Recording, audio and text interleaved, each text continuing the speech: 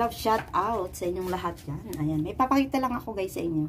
Hindi ko lang alam kung ano naisipan ni Amo na ibinigay sa amin ito. Medyo nagpakitang gilas lang kami, ayan. Naglinis ng maayos. Sana may bonus. oh guys, ayan po.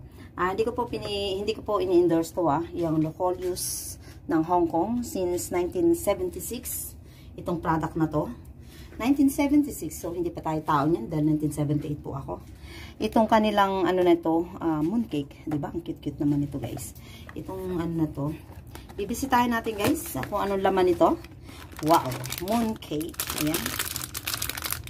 Ayan. Ito po ang mooncake ng Luculius uh, product ng Hong Kong since 1976. O, diba? Masarap yan. Nakatikim na ako, guys, nito. Kasi, um, kagabi birthday ng alaga ni Jeline. Punta kami sa Saikong. So, nakatikim ako. At, maraming flavor to guys. Yung iba nakain na dun eh, ng mga bisita. Ayan. Chocolate naman ang flavor nito. Ayan. Tingnan po natin ng iba. Ang ganda naman ang kahon niya. Ayan. Isang plain and one chocolate. O, diba? Napaka dalawang klase na po to guys. Then, tingnan naman natin itong nasa box na mooncake. Nako, paborito to ng team. So, sweet naman po nito. Hindi po kami mahilig nito. Pero si Jeline mahilig nito. Ayan. Pag ulam ko isda, yan. Kumakain po ako nito. Ito guys, pagkakainin, hindi lahat. Pag kumakain ka talaga, pag-aapatin mo yan. Kasi medyo, ano tayo to, mataas sa cholesterol to. Kaya ingat-ingat din po yung kagaya sa nanay ko. Hindi pwede to. Masyadong matamis. Nakaka-high blood to. Ayan. Masarap, masarap talaga siya. So, ito po ang laman niya yung nasa kahon na yan. Tingnan lang natin kung pare-pareho to. Hati daw po kami tatlo ni Noor, yung isang Indonesia. Nakasama natin. So, tingnan naman natin guys to. Ah, iba. Iba siya guys. Ayan. Iba to. Ah, yung kinain ko kasi kahapon, sa say ko ngay iba rin. Ah, yun eh, kasi laki ng plato. Pero, talagang asin kakainin mo, um, iba-iba. Sandali lang guys, ipapakita natin to. Para iba-iba yung ano niya, design. Ngayon ko lang na ano to kasi ang dami kong napag, ano natapon. Hindi pa sabihin ni among lalaki. Kaya paibigyan ng mga ating mga mahal na helper. Hindi yan magbibigay si amo. Ibang klase yan eh. Pero mas mabait naman siya. Ayan, ganun din siya. Itong isa, ganun din ba? Ay, pareho. Dalawang klase. Bali, yung laman nito marami. Tatlong klase. Ayan, yung kinain namin eh, ganito siya guys. O, diba? Ang sarap-sarap niyan. Eto, hindi ko pa ito natikman. Uh, Unang-una, hindi ako mahilig sa chocolate eh. Ito na natin yung aming kinain. Kasi yung malaki eh, kasi laki ng plato. Ayan. Ganyan guys, uh, ipapakita ko lang sa inyo guys yung kagaya ng ano, yung binigay sa amin ni Amo. Saglit lang.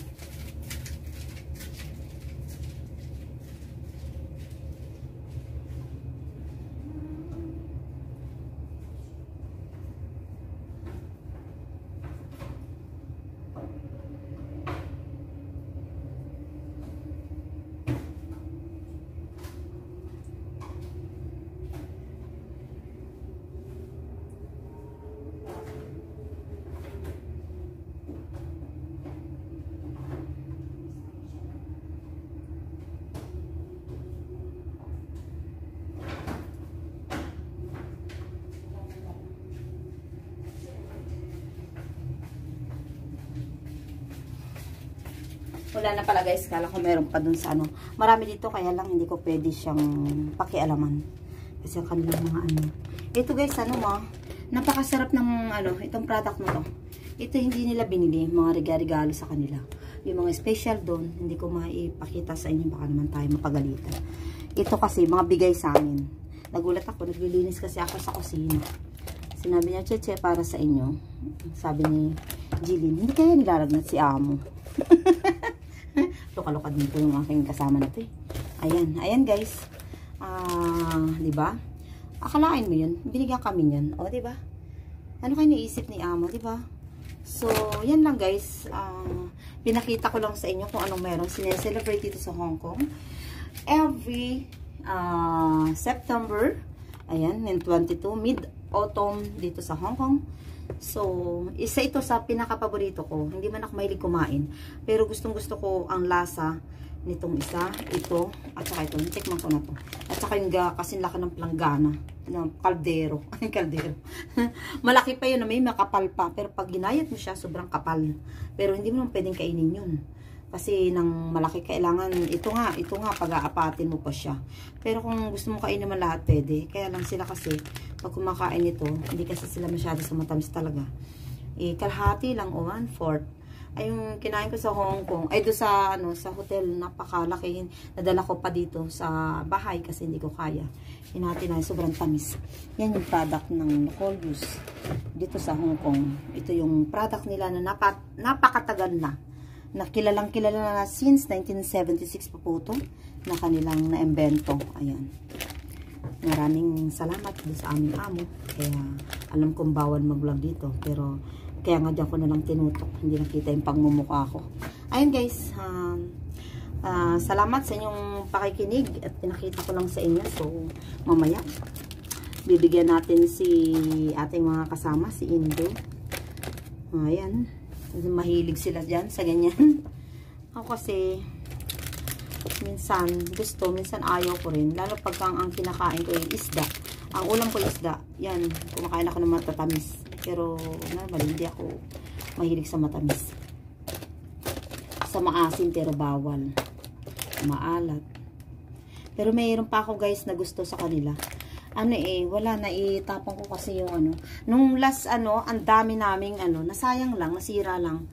Eh, hindi ako mahilig talaga. Sabi ko kung malapit sa amin ay pamigay sa mga gusto. Madalas itapon nila. Kaya siguro namigay sila kasi nung last, ano, nung last year, ang dami na sayang guys. Nakatabi lang din sa cabinet ang mga ganyan. Hindi nila pinamimigay. Ewan ko kung bakit anong isip nitong mga amo na to. Naka, nakapagbigay sila ng ganito. Ang cute naman nalalagyan nyo guys. Nandun sa table yung mga special nila. So, hindi natin pwedeng ipakita yun. Baka, ano, baka tayo mapagalitan. Uh, ba? Nagpapasalamat na rin ako guys. Kahit ganyan naman si amo. Minsan may puso siya. May puso mamon. Dito ako kita-kita sa chocolate na to. Eh, ewan ko lang kung masarap to ah. Pero ang flavor niya, chocolate. Hindi, itong madalas namin kainin ito. Mas malaki dito, makapal siya. Yung, ang nilalagay kasi nila guys, ang mooncake kasi nila dito guys, yung, yung ano, ang, ang gitna nila, eh may, ano siya, may, may, ang tawag dito, may maalat na itlog. Yun. Ito, bibiyakin natin guys. Pero mamaya ko kakainin pagdating ng mga kasama ko para sabay-sabay kami kakain. Kukuha lang tayo ng kutsilyo.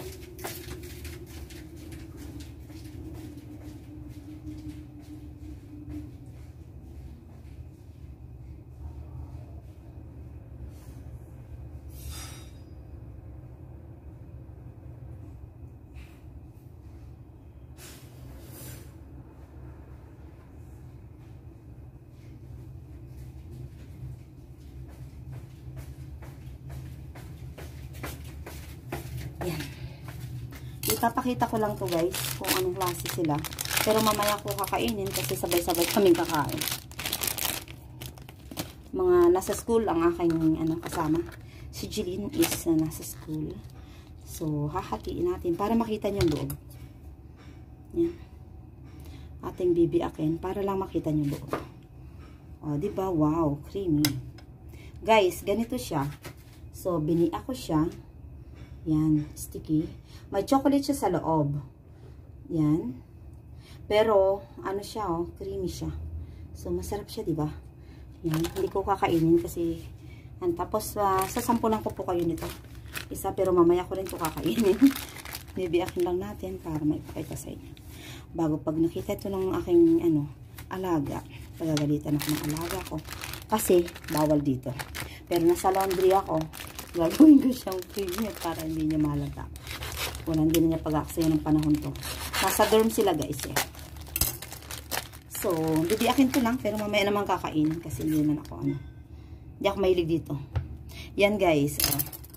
Ganito ang klase ng mooncake. Yan. O, oh, ba diba? May salted egg sa loob.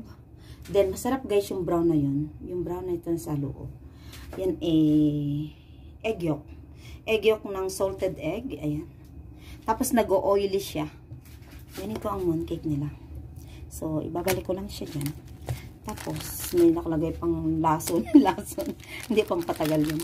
So, mamaya namin po kakainin. Hintayin ko sila. So, yan lang guys. At para makita po ninyo kung anong klase niyan. So, biniak ko lang po yan. Para alam po niyo ang laman yan. O, ba? So, yummy. So, thank you guys sa inyong, ano, pakikinig. So, walang kwentang, ano po. uh, thank you for watching. Uh, please subscribe my channel, Laya Din Lasan. And thank you sa lahat na sumusuporta. Bye and God bless. Stop.